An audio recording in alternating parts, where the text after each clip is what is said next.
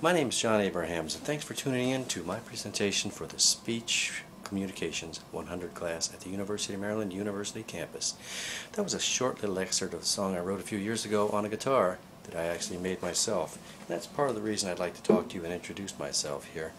It's diversity in life that I'm talking about, hence its plans that I have for the future. Now I was born 54 trips around the sun ago in Albuquerque, New Mexico. I lived there in a culturally diverse area.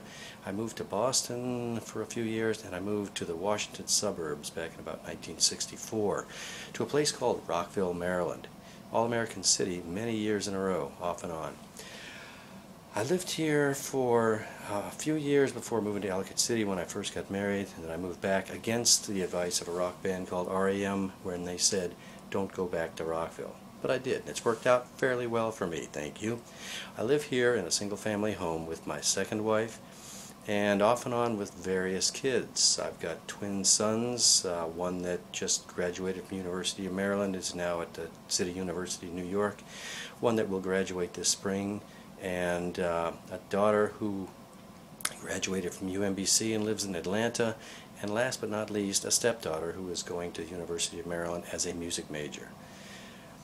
Um, I started work in humble surroundings as a caddy for a golf course when I was almost the same size as the golf bags and uh, stepped into a busboy position at Hot Shoppes in Rockville.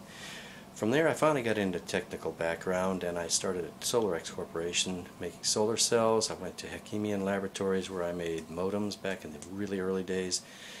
Fusion Systems made high power supplies for ultraviolet exposure systems and uh, let's see after that Allied Signal Aerospace turned into Honeywell which I was involved in a lot of projects for government and industry where I was also put on some scientific papers which was a big asset.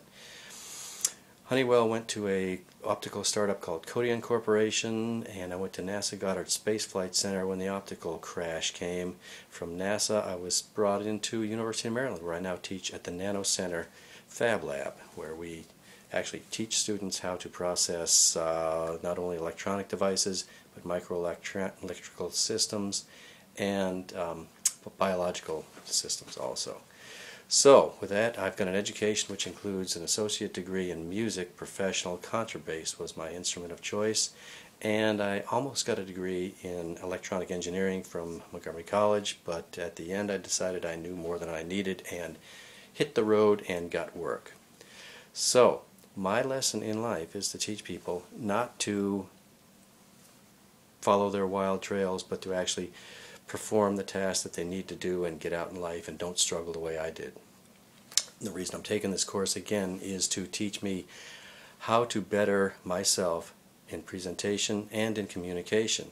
Now, the other half of my life, which is variety, is, is the spice of my life, is the music background or the artistic side. So I've got my science and the art. My art is music, and I've got that associate's degree on bass. I've been in orchestras, I've been in bands, rock bands, country bands, disco bands, top 40 bands, jazz bands, all kinds of different ones.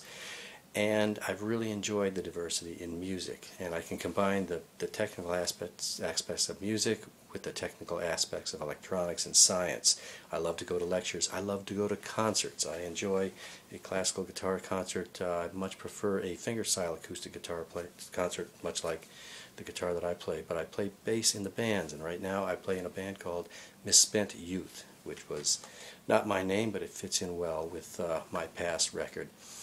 I write my own songs, and I've got 40 songs copywritten, copyrighted, pardon me, and I recorded most of those songs. One big goal and one uh, prime thing that I'd like to do is to get those songs into a professional recording studio pay the money and get somebody who really knows what they're doing to record those songs uh, and have them come out the way I really want them to sound.